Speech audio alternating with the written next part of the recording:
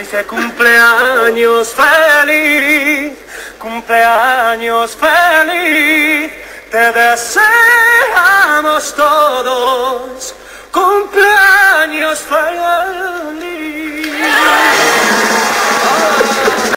La amistad es algo que atraviesa el alma, es un sentimiento que no se te